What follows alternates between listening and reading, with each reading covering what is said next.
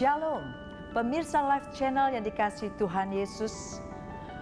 Orang-orang yang dipilih Tuhan, harusnya mereka adalah orang-orang yang menang seperti kemenangan yang didapat oleh Tuhan Yesus.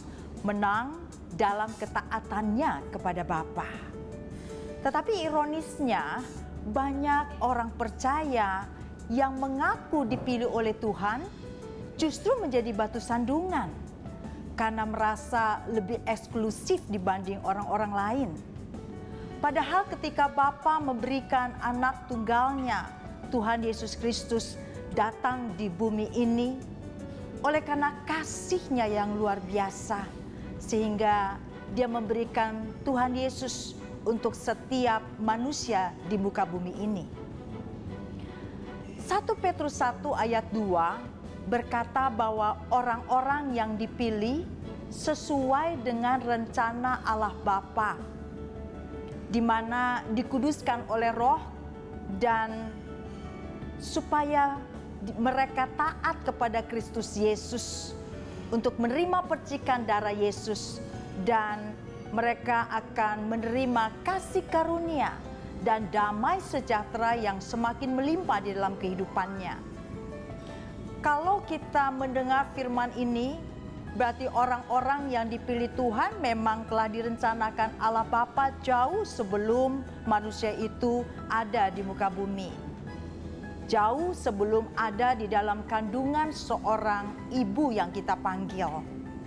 Oleh karena itu, bukan karena siapa kita atau bagaimana keberadaan kita, siapa kita yang begitu pintar dan memiliki jabatan-jabatan yang luar biasa tetapi Allah merencanakan semua itu justru menggambarkan bahwa harusnya kita mempunyai tanggung jawab dan beban lebih dari orang-orang yang di luar orang percaya. Sehingga beban ini atau tanggung jawab ini harus kita pertanggungjawabkan kepada Allah sendiri di dalam Kristus Yesus. Orang-orang yang dipilih oleh Allah Bapa dari semula Allah telah merencanakan dengan tepat dan tidak ada suatu yang kebetulan atau Allah dengan tanpa tujuan menciptakan manusia yang telah dipilih dan diberikan tanggung jawab lebih oleh Dia. Oleh karenanya harusnya justru kita sungguh merasa gentar dan takut ketika kita tidak bisa melaksanakan tugas dan tanggung jawab yang dipercayakan Allah di dalam Kristus Yesus bagi kita. Mari saudara, saat ini kita belajar kalau Allah telah memilih kita, maka Allah menguduskan dengan rohnya. Ketika kita menyadari kita orang dipilih, berarti kekudusan, artinya dipisahkan dari segala kekotoran, dipisahkan dari segala kenajisan dunia ini, maka kita bersedia dengan rela untuk sungguh-sungguh diprioritaskan oleh Tuhan menjadi orang-orang kudusnya karena dosa asal dari orang tua dan dari nenek moyang kita terus mengalir. Oleh karenanya ketika roh itu menguduskan lewat firman kebenaran yang tepat di dalam terletak dalam firmannya kita bisa semakin benar dan disempurnakan di dalam Kristus Yesus.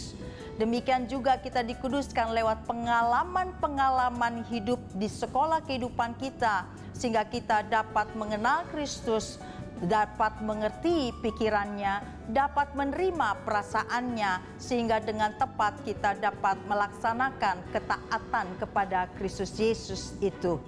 Dan akhirnya saudara, ketika kita sungguh-sungguh menerima kekudusan untuk menerima Yesus menjadi satu teladan hidup kita, maka di sanalah kita dibersihkan hari lepas hari dengan percikan darah Yesus.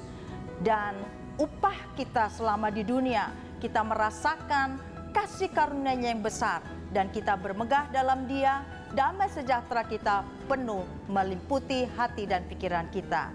Demikian, terima kasih. Jadilah orang-orang pilihan Tuhan.